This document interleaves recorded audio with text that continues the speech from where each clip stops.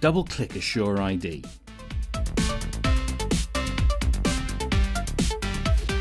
The default username and password is admin.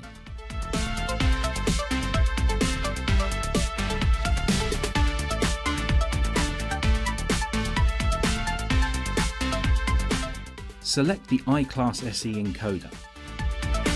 Then click Work Order Manager.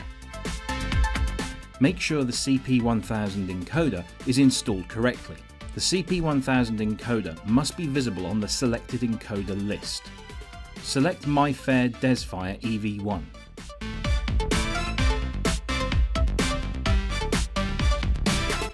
Click Add Work Instructions then select MIFARE DesFire EV1 if not already selected. Click Next. Select Write. Then select HID Access Application. Select Field Encoder as this DesFire card is being encoded in the field.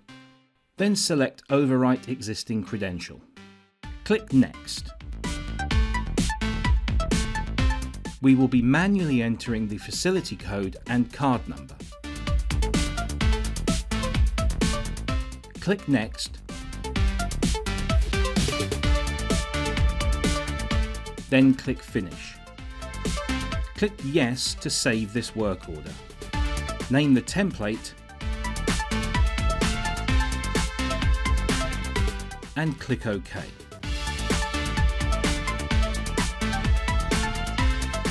Now we enter the card number and facility code manually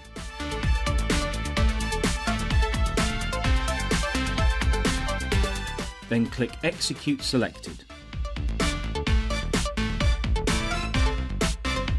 Place the card on the reader.